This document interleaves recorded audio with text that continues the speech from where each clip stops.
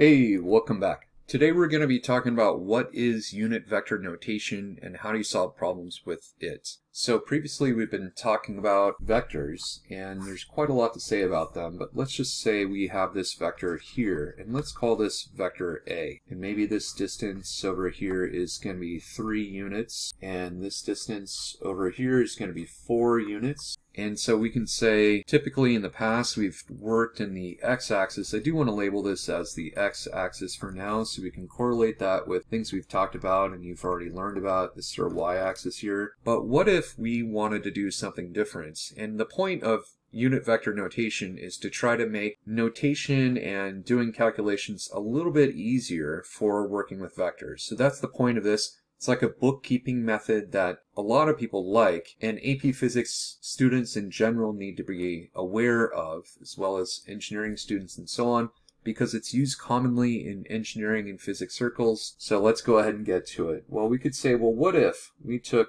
one of those units right here and we gave it a definition of a vector of i, and in this case we're going to call it i hat with a little funny symbol here. And let's say we do something similar over here, where we could say this is going to be j hat right here. And this i hat is defined as one unit in terms of length, in terms of the magnitude here, as is the j hat. It's just in the different axis. And we could say, well, how could we label this vector? Well, we could say vector A is going to be equal to 3 i hat plus 4 j hat in terms of vector addition. So you may know that this is a 3, 4, 5 right triangle. If we made a triangle out of this vector right here where VA is the hypotenuse, that would be a 3, 4, 5 triangle. But this, in a nutshell, is going to be our vector unit notation.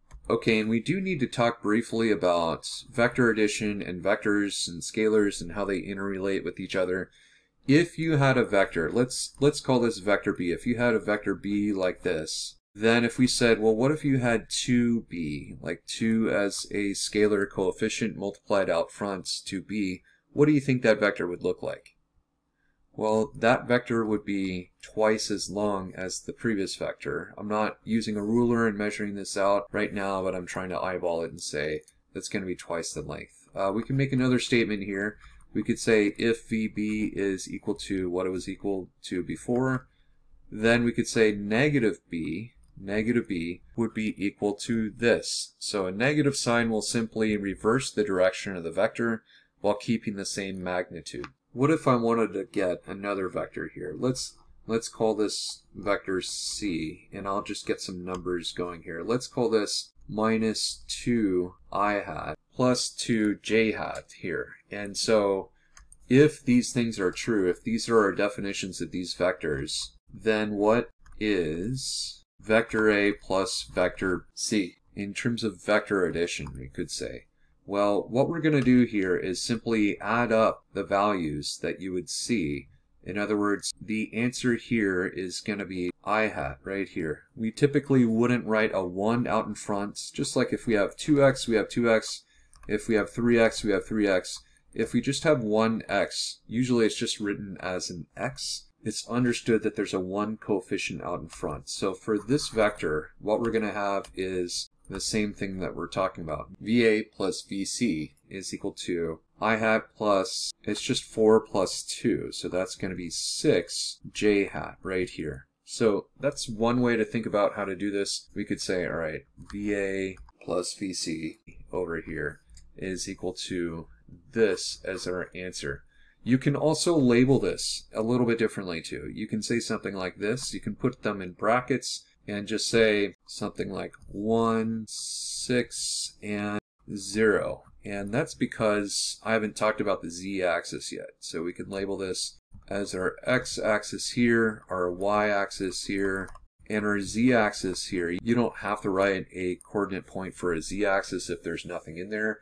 It's just to clarify what you're dealing with. Okay, so a lot of people really like this notation. That's the basis of it. That's what you would need to know to be able to solve problems with this. Well, we could take it one step further. How would we do a problem like this? Let's say we had 3 VA plus 4 VC.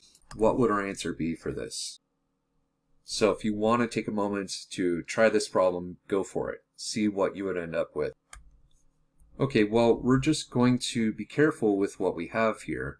So we have 9 i hat here plus negative 8 i hats, and that's from the VC component, right? So plus 12 j hat hat here from VA, and then from VC, we would have 4 times 2 would be 8, and this is going to be j hat here, and this is going to be j hat here.